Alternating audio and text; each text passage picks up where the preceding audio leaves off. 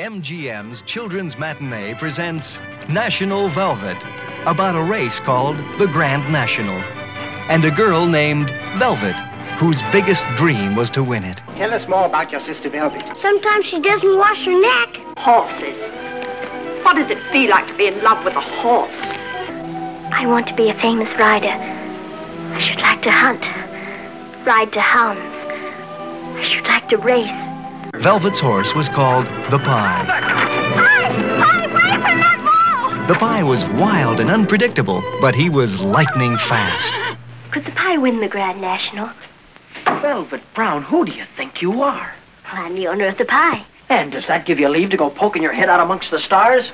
Believing you could take the richest, grandest prize a horse ever won? A Grand National. Large dream for a little girl. Sometimes it frightens me. I see things. I see things as big as life and think they're real. Up you go.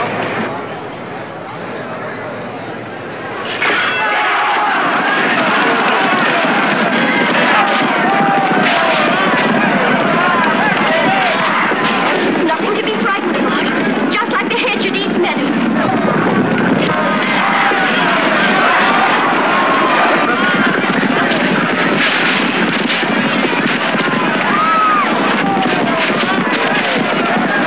Wait, there's a horse coming up on the far side. He's coming up fast. I can't quite see who it is. It's number 28. 28, it's the pie.